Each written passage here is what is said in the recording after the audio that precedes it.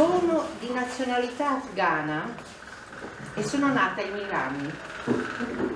Per quanto mi ricordi, ho sempre voluto fare arte e ho sempre avuto un album da disegno. Siamo ritornati in Afghanistan quando io avevo 16 anni.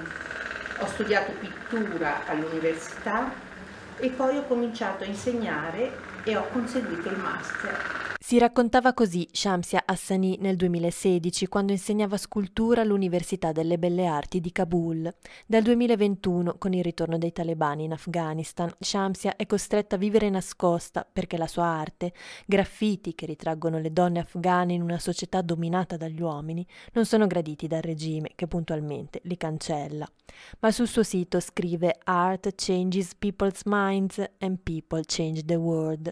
L'arte cambia la mente delle persone persone e le persone cambiano il mondo ed è proprio per questo che l'arte di Shamsia non si ferma.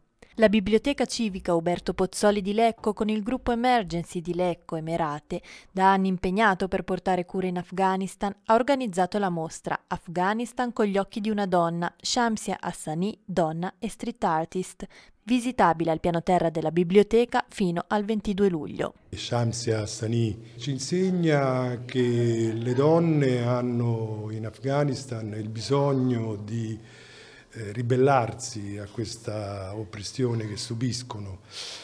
Come potete notare le dipinge con gli occhi chiusi, senza la bocca, perché proprio eh, a loro è impedito anche di esprimere la propria personalità eh, per cui con questi messaggi lei vuole eh, esaltare il bisogno di libertà delle donne. Abbiamo voluto dedicare questa mostra al volontario Antonio Chiodo che recentemente ci ha lasciato.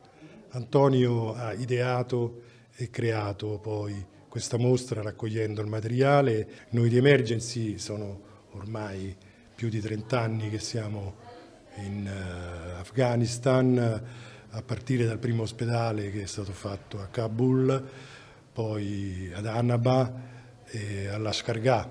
Ci stiamo rendendo conto che Lecco eh, raccoglie molto il messaggio che Emergency vuole portare avanti.